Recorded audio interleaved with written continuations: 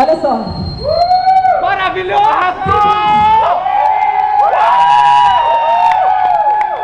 Gente, tá sendo um prazer estar aqui com vocês nesse show super íntimo. Tipo churrasco na laje. Bem íntimo, bem a gente, bem Brasil. E nesses 20 anos de Friends, né? Parabéns, Friends. Eu acho que quem ganhou o presente fui eu. Estar aqui com vocês, prestigiando o meu trabalho, com muito carinho.